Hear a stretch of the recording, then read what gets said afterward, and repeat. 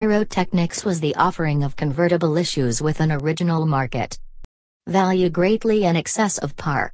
This is illustrated by Atchison, Topeka, and Santa Fe Railway Company Convertible 41/2S, due 1948, and by American Telephone and Telegraph Company Convertible 41/2S, due 1939. Initial trading in the former on the New York curb market, on A.